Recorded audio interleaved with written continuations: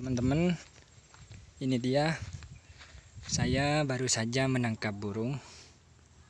Nah, ini bulunya rontok ya. Jadi barusan saya lagi duduk-duduk di sana. Kemudian terlihat ada burung perkutut yang lagi terbang kemudian menabrak ini teman-teman. Musola dia menabrak yang bagian putih dan akhirnya terpental ke sini.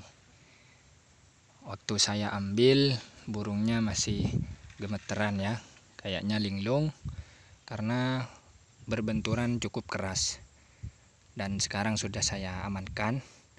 Saya akan pelihara dulu supaya burung ini tidak mati di luar teman-teman.